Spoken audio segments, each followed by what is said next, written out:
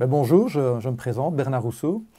Euh, après avoir fait des études euh, à l'Institut Gram à Liège d'ingénieur industriel, euh, je suis parti faire une année de gestion parce que les études d'ingénieur, ce n'est pas suffisant dans le cadre de reprendre une, société. Il faut vous dire que quand j'étais petit, j'avais toujours l'esprit un peu d'indépendant et j'attendais l'opportunité de, reprendre une société.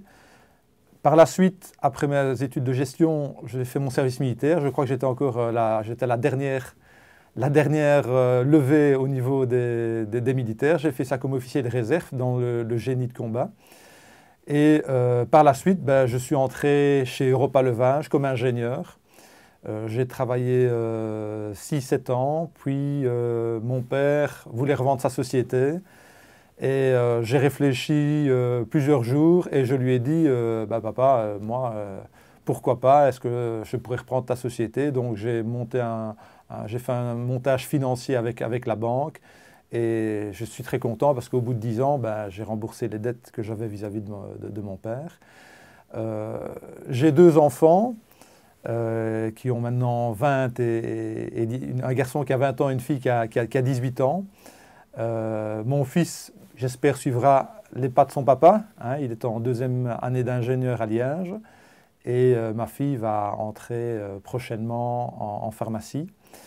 Euh, mes loisirs, ben, quand j'étais petit, bon, j'aimais bien faire des, cascades. Donc, quand je voulais même être cascadeur, la, la premier métier que je voulais, c'était être cascadeur.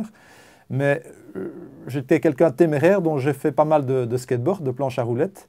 Hein, j'ai même été euh, en cocorico champion de Belgique en son hauteur en moins de 13 ans.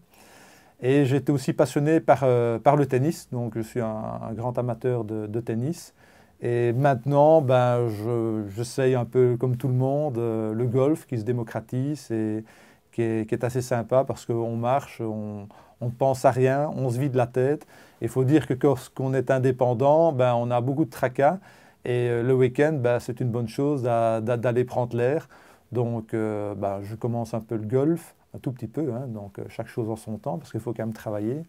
Je fais de la marche à pied, je vais promener mon, chien et je continue toujours le, tennis.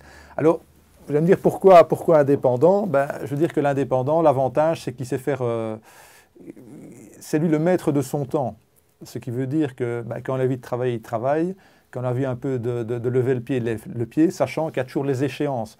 Donc c'est un peu comme vous étiez dans les études, il y avait un examen, ben, euh, si vous avez fait un peu le saut avant, ben, il fallait travailler deux, trois jours euh, d'affilée, même les nuits, pour arriver à son but. Enfin, on n'est pas jusqu'à ce cadre-là, mais je veux dire qu'on est quand même responsable de plusieurs personnes et euh, ben, il faut prendre les difficultés à bras le corps, ce que j'essaie de faire.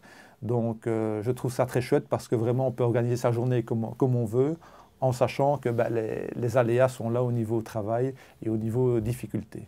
Comme hobby, la magie. Il faut vous dire que je fais de la magie depuis l'âge de 12 ans. Et petite anecdote, ma première séance de magie, je l'ai fait à 11, ans et demi pardon, sur la Grand Place de Bruxelles. J'avais mon mini-cassette, mon guéridon, j'avais un copain à côté de moi. Et j'ai fait deux représentations d'à peu près un quart d'heure et on passait avec le chapeau. Donc la magie m'a ouvert beaucoup de portes parce que bon, ça permet fatalement de parler comme je vous fais devant vous, parler un peu en public et aussi de, faire rêver les gens. Donc je faisais des anniversaires, je faisais des mariages, j'allais dans, des service clubs et j'essaie de faire rêver les gens. Alors quand les gens ont sourire, c'est quand même fantastique. C'est comme dans les affaires, si vous produisez un bon produit, ben, les gens sont contents, ben, vous êtes contents parce que les gens sont contents et on fait des bonnes affaires ensemble. Le, marché actuel, ben, comme, partout, c'est très très dur. Donc, comme j'ai dit dans, le précédent reportage, euh, ce qui nous sauve un peu, c'est l'exportation. Mais il faut dire que même maintenant, l'exportation, ben, tout le monde sait bien que l'exportation, c'est là qu'il y a du travail. Donc, il y a plus, de, plus en plus de sociétés aussi asiatiques euh, qui sont aussi présentes sur le marché.